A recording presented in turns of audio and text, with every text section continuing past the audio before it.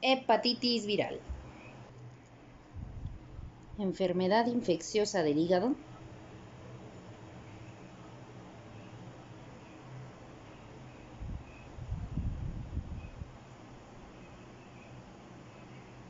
Causada por virus, por eso es viral. Distintos, ¿ok? El detalle, nosotros sabemos que cuando entra un virus todo feo. Ah, te estoy atacando. bueno, ya. Cuando entra un virus, espérense, les voy a acercar. Ay, al hígadito. Eso es un hígado, aunque no lo parezca. Acuérdense que los hígados, los hígados, el hígado. ya, me voy a concentrar. El hígado entonces como todo órgano está conformado de células. ¿Ok? A esta célula le vamos a llamar hepatocito. Entonces, ¿qué ocurre? Inmediatamente entra el virus al hígado, van a verse, digamos que, inflamados. Bueno, no digamos, inflamados. Estos hepatocitos. ¿Por qué? Porque el virus se va a replicar dentro del hepatocito.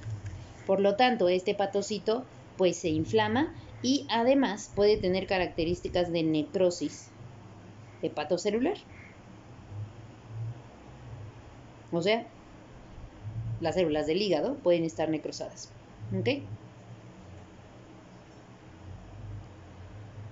Etiología, causa. Bueno, yo les acabo de decir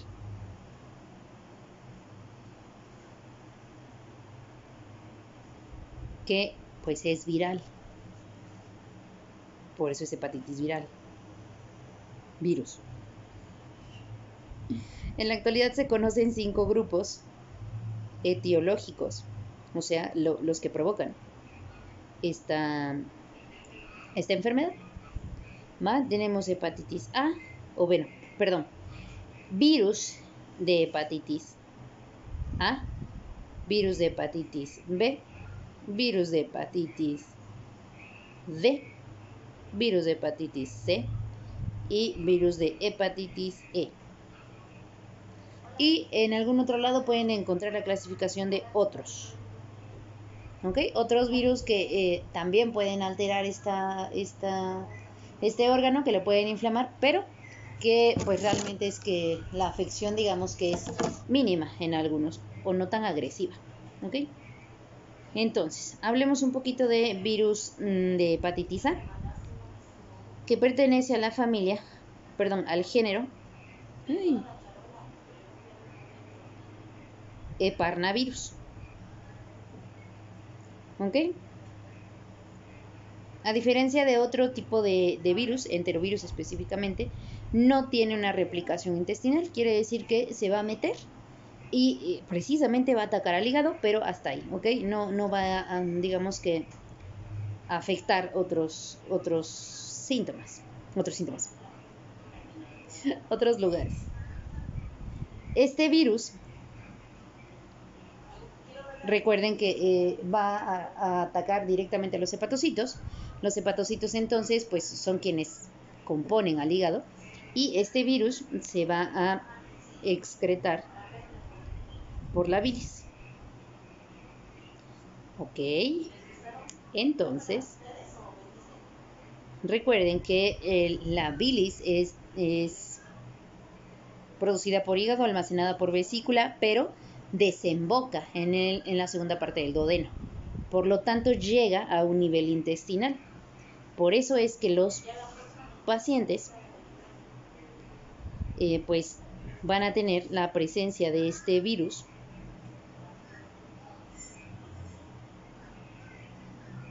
en las heces fecales. ¿Ok? Desde, incluso desde el final del periodo de la incubación hasta los primeros días e incluso después, en los primeros días después de la aparición de los síntomas.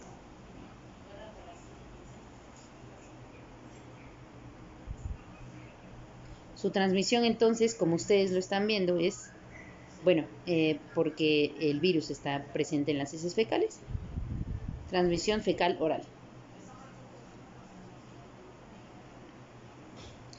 Hepatitis, virus de hepatitis B.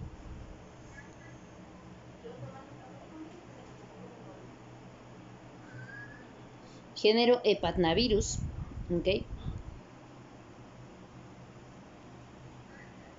Se caracteriza por poseer una envoltura lipoproteica, envoltura lipoproteica, que significa grasas y proteínas. ¿A qué les recuerda? Sí, al coronavirus.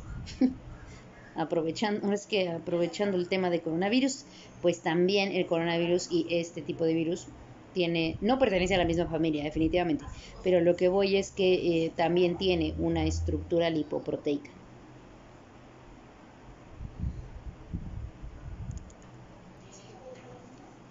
En esta, en esta estructura lipoproteica va a tener un antígeno de superficie.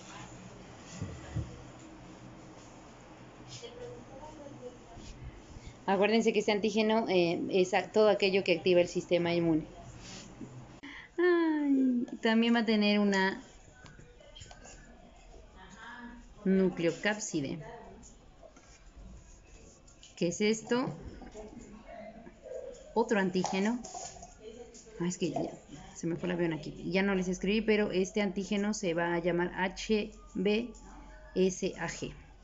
¿Ok? Y también tiene un nucleocápside que es como una envoltura alrededor del núcleo, en el cual también va a tener un antígeno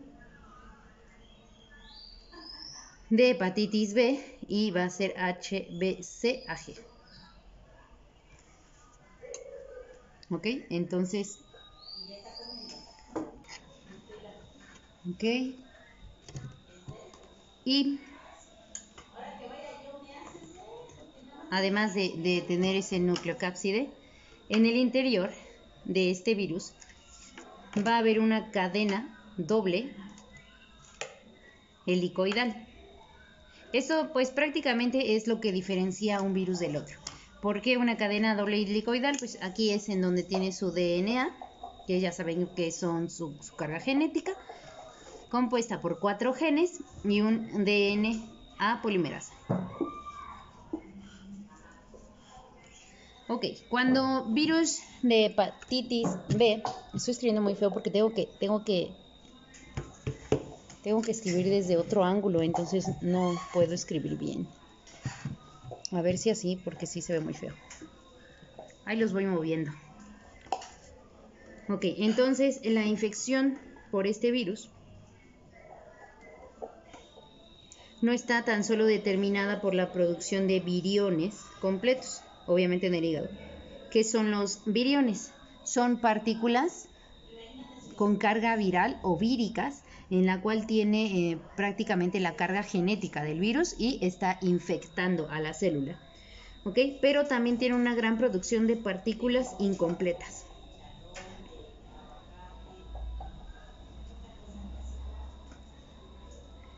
Con capacidad inmunogénica quiere decir que eh, va a activar al sistema inmune, pero no va a provocar la infección. ¿Quiénes lo producen? ¿Quiénes provocan la infección? Los viriones.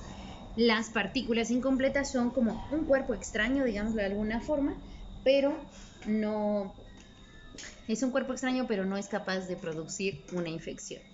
¿Ok? Virus de hepatitis D.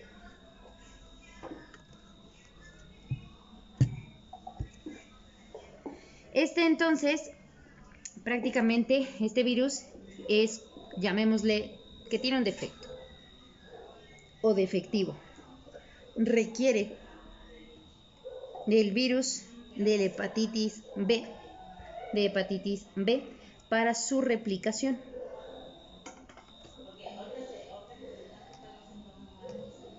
y expresión. Aquí el virión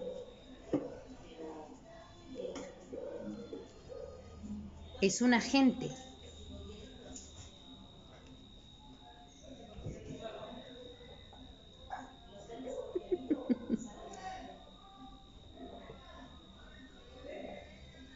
ok, eso me imagino cuando digo que es un agente. Es un agente el cual se va a llamar agente delta.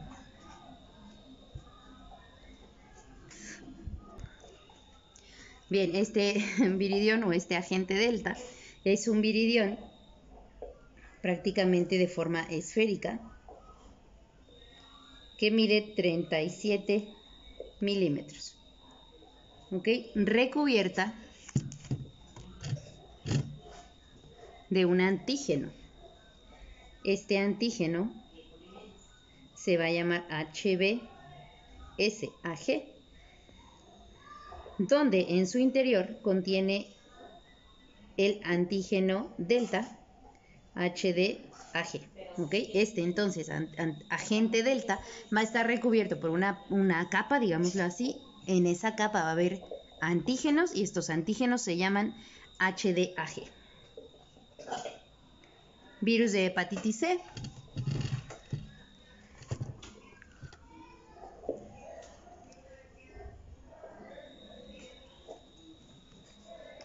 Se trata este de un virus de la familia de los flavivirus.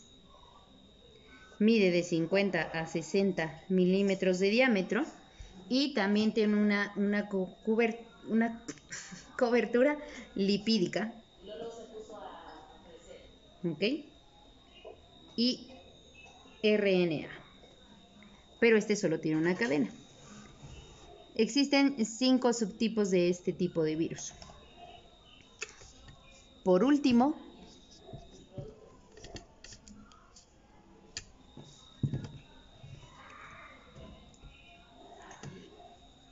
virus de hepatitis E.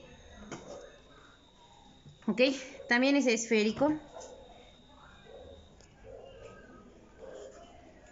Mide de 32 a 34 milímetros de diámetro también tiene RNA y pertenece a la familia de los calicivirus.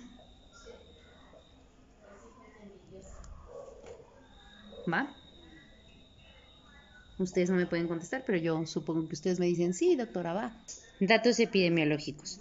En realidad de estos virus que les acabo de explicar, los virus más frecuentes es A, B y C digamos que por su clínica, aunque es de una transmisión fácil, por su clínica el, virus de hepatitis A es el más sencillo. Como ya lo habíamos dicho, su transmisión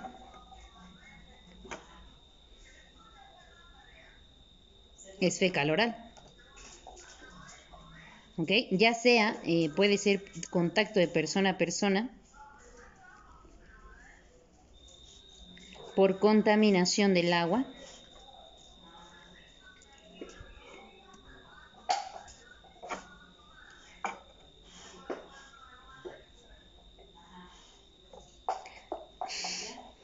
Contaminación de alimentos con materias fecales que tengan el virus. Principalmente eh, los quienes van a ser, digamos que afectados, van a ser los niños debido a que no tienen hábitos, digamos que higiénicos completamente adecuados. ¿Ok? Por ejemplo, pues el lavado, incluso hasta de manos, hablando de, principalmente después de ir al baño. O sea, este virus no se transmite por gotitas de flujo o algo así. Es fecal oral. Quiere decir que el virus se va a encontrar en las heces fecales y que si tú tuvieras contacto con esas heces fecales o que tuvieras, eh, por ejemplo, te fueras al baño, limpias el área anal y después no te lavas las manos, te lo llevas a la boca, saludas a alguien, esa persona se lo lleva a la boca, entonces así es, es ese tipo de transmisión tiene. ¿Ok? Esto necesita bueno, entonces estos pacientes van a ser, se van a considerar como infecciosos, por decirlo de alguna forma. ¿Qué significa que van a transmitir o son capaces de transmitir la infección de 3 a 12 días antes de la aparición de los síntomas. ¿Ok? Hasta el aumento de transaminasas. Bueno, volvemos a lo mismo de ayer, las funciones del hígado. ¿Qué son las transaminasas? ¿Qué Estoy grabando ya. no, mi video. Omiten eso. Omitan, por favor, esos últimos tres segundos del video. Ok, entonces son enzimas que se producen en las células de distintas partes del cuerpo. Ok, transaminasas son enzimas. ¿Ok? En donde se forman principalmente en el hígado. Pero también las crea el cerebro, el riñón, ¿ok? El corazón incluso. Su función, producir aminoácidos. ¿Qué son los aminoácidos? Pues son pequeñas moléculas prácticamente de proteína que pues son necesarias para el desarrollo del organismo. Tienen pues distintas formas, digamos así, de, de actuar. ¿Ok? Dentro de ellas está, dentro de las transaminasas, se encuentran GOT y, y la GPT. ¿Ok? Donde GOT es glutámico. Se los escribo por aquí. Ya, ya hice un relajo acá. GOT es glutámico oxalacética. Y GPT significa glutámico pirúvica en donde GOT es menos específica para eh, el daño hepático, Donde eh, obviamente GPT es un poquito, pues digamos que más específica, pero pues ambas pueden alterarse en el daño de hígado, de corazón, de músculo, entonces pues son enzimas, sí, que se elevan, que están en el hígado, pero que no son específicas de un sufrimiento hepático. Antes, hepatitis era considerada como una enfermedad de la infancia. Pero actualmente, digamos que en ciudades un poco más avanzadas, a quienes afecta principalmente es a los jóvenes. ¿Ok? 20%, 20%, 20. 20% de las personas con esta infección van a ser de 20 años de edad sigue reinando como tal en los niños, pero hay un incremento importante en personas jóvenes.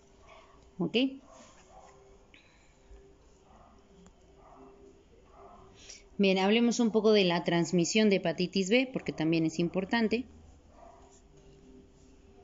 Les digo, los, los, digamos que los que más son frecuentes es A, B y C. Entonces, la transmisión del virus de hepatitis B se produce fundamentalmente por una vía parenteral. o vía sexual. Su frecuencia ha disminuido conforme obviamente pues se, ha educado a la gente. Si hablamos de vía parenteral, por ejemplo, es que pudieras incluso por X o Y canalizar a un paciente con, una aguja infectada o bueno, igual suena muy extremista eso, pero pues también puede ser en los pacientes que, que ocupen de drogas inyectadas, que obviamente eh, pues se pasan la jeringa de unos a otros y puede ser un medio de transmisión. En los recién nacidos, por ejemplo, con una mujer con infección activa, si le pasa el virus en más del 90%, 90 de estos niños. ¿ok? En el momento del nacimiento, si es que no son protegidos adecuadamente con inmunoglobulinas, o sea, vacunas. ¿Por qué? Porque puede existir un contacto con mucosas con sangre contaminada. Obviamente, pues en el trabajo de parto, y a esto se le llama una transmisión vertical. Este virus diferente, por ejemplo, al, primer virus, al virus de tipo A, no está presente en las heces. Por lo tanto, su transmisión no puede ser fecal oral. Las personas más expuestas a contraer hepatitis B son las que presentan mayores oportunidades de inoculación percutánea. Les repito, personas que se inyectan, personas que se drogan eh, con drogas inyectadas. Nosotros como personal sanitario, eh, pacientes hemodializados, se los escribo mejor, hemodiálisis, personal sanitario, uso de drogas inyectadas.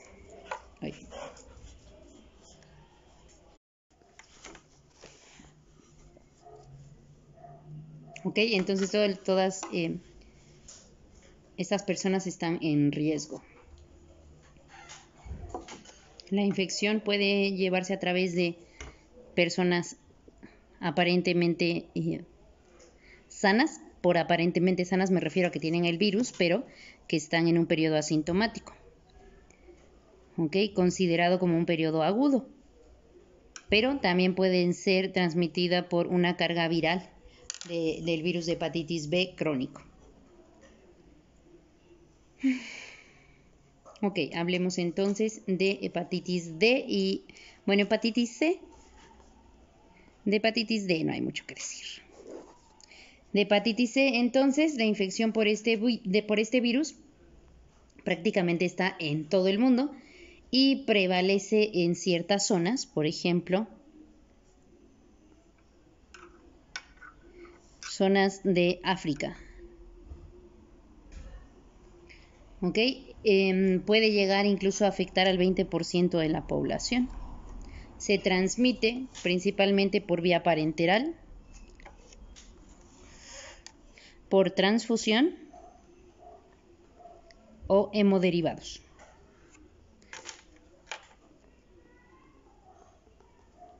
Ahí dice hemoderivados pero eso era antes de 1990. Ustedes saben, bueno, si no, si no han tenido la oportunidad de pues checar todo esto, se hacen antes de una transfusión, se le hacen obviamente pruebas sanguíneas al, al donante, en el que también se les hace entonces a estas personas pues que van a donar pues se les hace también las pruebas para pues para valorar si, si tienen antecedentes de, de una carga viral.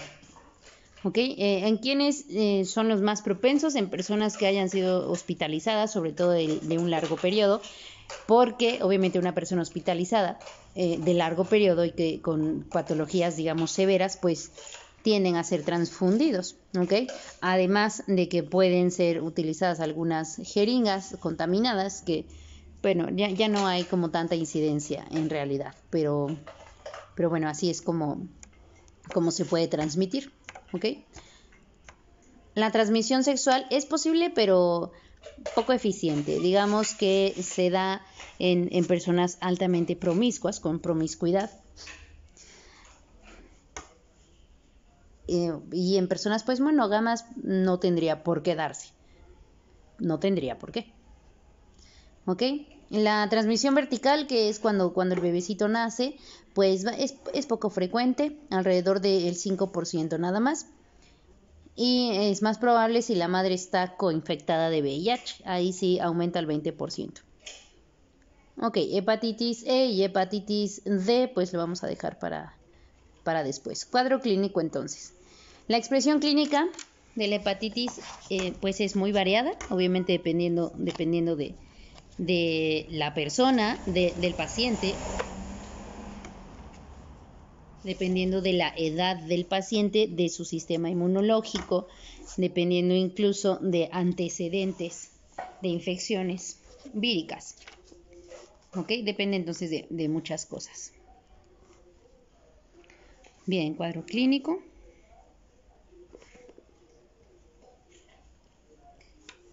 Como les decía, entonces va a ser variado. ¿Ok? El curso clínico entonces de esta enfermedad va a ser común que conste de cuatro periodos. El primero es incubación,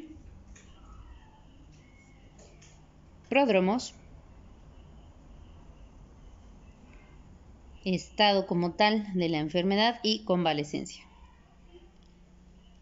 El periodo de incubación de intervalo, ya vimos en algunos, es eh, prácticamente el periodo en el que tienes la exposición al virus y la aparición de los primeros síntomas. Entonces es exposición hasta que aparecen los primeros síntomas. Aquí va a depender de la cantidad de viriones del inóculo, o sea, ¿se acuerdan de los viriones? Las micropartículas de, carga viral. Entonces va a depender más de la cantidad de viriones. El periodo prodrómico comprende el tiempo en el que el paciente presenta síntomas hasta antes de la ictericia, aproximadamente de 3 a 5 días. Puede durar incluso eh, alguna semana, una semana o hasta no presentarse, ¿ok? No sentir prácticamente nada. ¿Qué síntomas hay en estos? Pues el paciente se siente con fatiga, cansado. Ahí no se ve. Inapetente. Pérdida de capacidad olfatoria.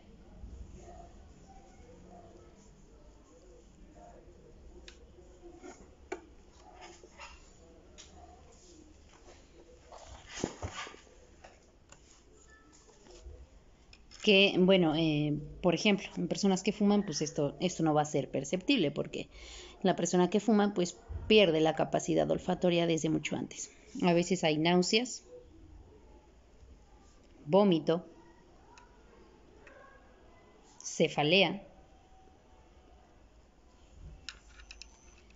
dolor en hipocondrio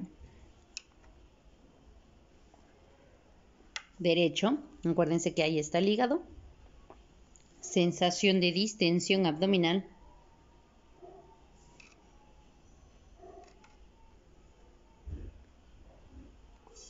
Y algunos pueden tener diarrea. ¿Ok? En ocasiones, pues la cefalea suele asociarse con un exantema urticariforme, pero eh, no es muy frecuente, frecuente, perdón, pero sí, sí puede existir exantema. ¿Ok? Puede haber incluso fiebre, que suele ser regularmente mayor a 39 grados. Esta fiebre va a durar aproximadamente de 1 a 2 días. Entonces, en realidad, eh, bueno, ¿a qué le suena esto que les acabo de decir? A todo, a todo y nada. Cualquier infección te va a dar cansancio, inapetencia, pérdida de la capacidad olfatoria, sobre todo en víricas, infecciones víricas. Entonces, en realidad no te guía a ningún lado, a menos que en tus antecedentes me digas tuve relaciones con alguien con hepatitis o convivo con alguien con hepatitis o recién me transfundieron, cualquier cosa así. ¿Ok? Si no, pues prácticamente suena a cualquier cosa. Entonces, ¿qué en la clínica nos va a orientar para el diagnóstico? Existe también un síntoma en hepatitis que es un cambio de la coloración de la orina. Cambio de coloración en la orina, lo que conocemos médicamente como coluria. ¿Ok? Eh, la orina se vuelve muy oscura con un prácticamente un, tono casi negro, casi como, como si fuera coca sin marcas, un refresco de cola. ¿Ok? Y también hay decoloración en las heces.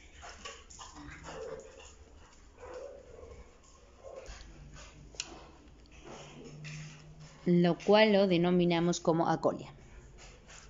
Bien, entonces, en la presencia de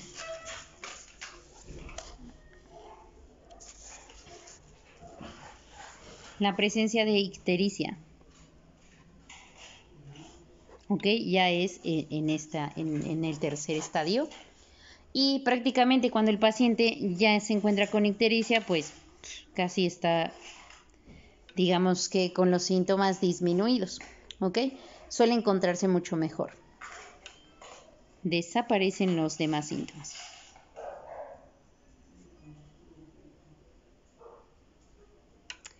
Pero lo que sí va a mantenerse es la astenia el cansancio.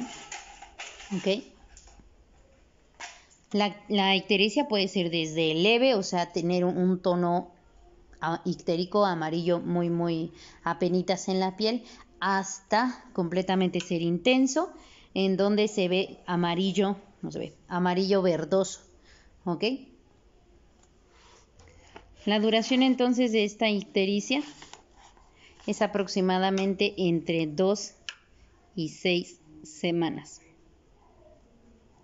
Durante este tiempo el paciente suele perder peso,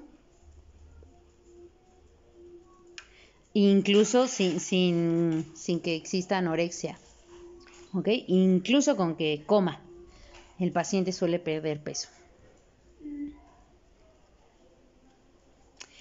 Inmediatamente eh, disminuye la ictericia, el paciente pues prácticamente tiene sensación de bienestar y del apetito, ¿ok? Y así también pues la, orina eh, regresa a sus tonos, digamos que normales y también las heces fecales regresan a su tono normal. En la exploración física lo que podemos encontrar, además de, de la ictericia, va a ser también una hepatomegalia. Okay, se siente eh, aumentado el tamaño por, por debajo del borde, del borde costal. Ok, por último, convalecencia. El periodo de convalecencia entonces se inicia con la desaparición de la ictericia. Normalmente todavía le queda como muy, muy apenas, pero todavía hay un poco de astenia y eh, fatiga, sobre todo cuando hay actividad física. Diagnóstico. Regularmente el diagnóstico es clínico, ¿eh? Eh, suele ser pues obviamente por su historia clínica, por su exploración física, ah, amarillo, bueno, ictericia, hay dolor en hipocondrio, además lo palpo y está grande, le pregunto cómo están sus heces, me dice que blancas, le pregunto cómo está su orina, me dice que muy oscura, además pues mm, me siento con todos los síntomas de, de, de una infección vírica, ¿no? Entonces suele ser bastante fácil de diagnosticar sobre todo en, esta etapa del pródromos. ¿Ok? Que eh, el, paciente, entre pródromos y estados, y, como tal el estado patológico. El paciente suele pues ir en el pródromos, pero acuérdense que eh, la clínica como tal va a ser en el estado de la enfermedad. Pero bueno, eh, también tenemos marcadores serológicos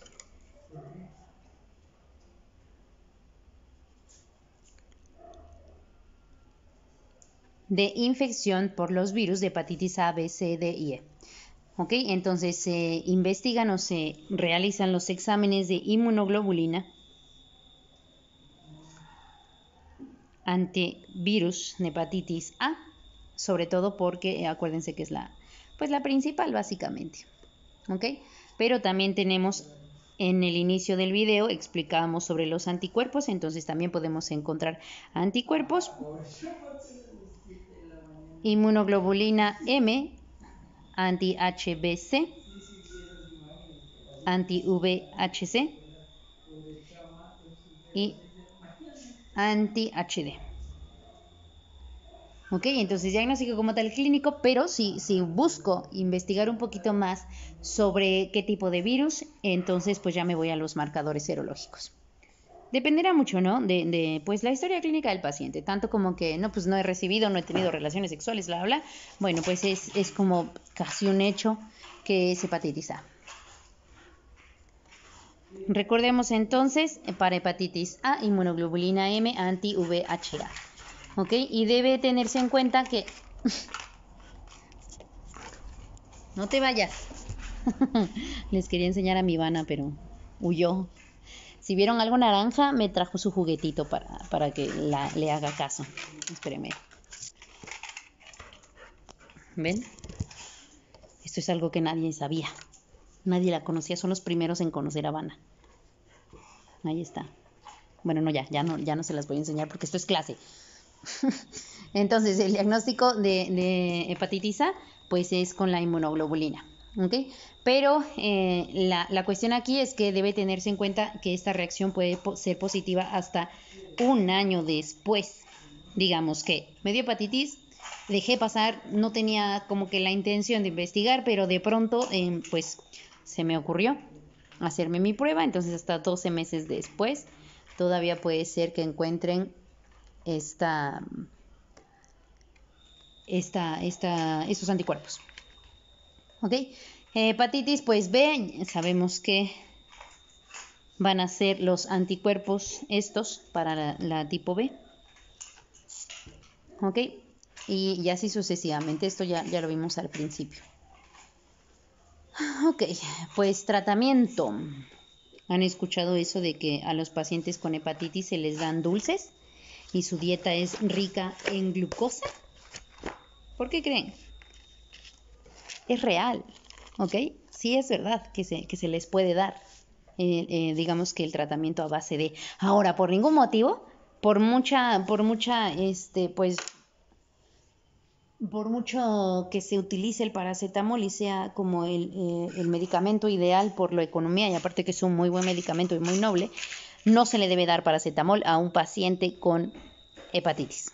Entonces, eh, para nada paracetamol porque pues es un hepatotóxico y obviamente mi hígado está inflamado, pues no le voy a hacer más daño. Chequen, investiguen, lean, deduzcan por qué se le da una dieta rica en dulces a un paciente con hepatitis. Esa es su tarea del día de hoy. Van a...